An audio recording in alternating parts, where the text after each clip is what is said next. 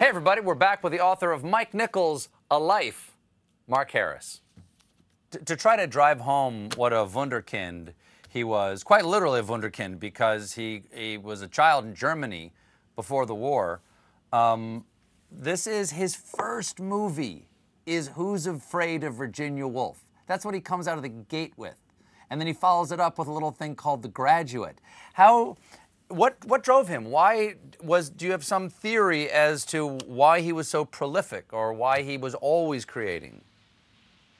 I think one really interesting thing about Mike is that directing wasn't his first choice for a career. Through his 20s, he was a performer, and then uh, his partnership with Elaine May ended, and he really didn't know what he was going to do with his life. And he always said that the minute he stepped into the rehearsal room for his first play, and the minute he stepped onto the set of a movie for the first time, he knew that directing was what he wanted to do. And so, in some ways, he didn't feel like he had a minute to lose after making that discovery.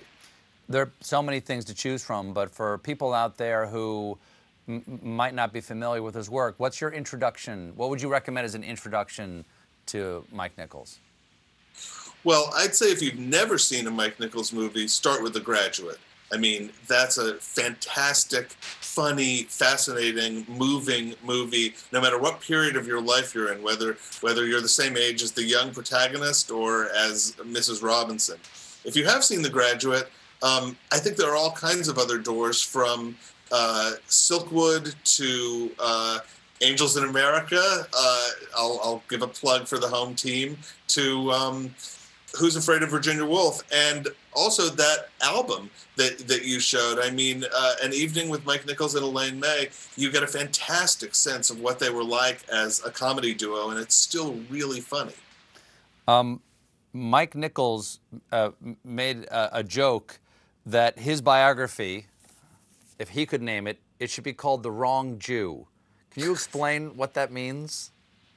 Mike, uh, late in his life, was originally cast in what turned out to be uh, a crucial episode of The Sopranos. Um, he was going to play the psychiatrist who Carmela goes to to complain about uh, Tony and her marriage, and and the psychiatrist is kind of this old style Talmudic, you know, Old Testament guy who says your husband's a criminal, and if you stay with him, you're complicit.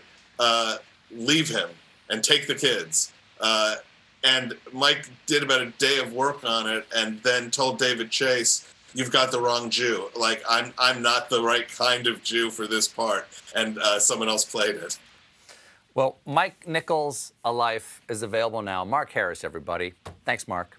We'll be right back.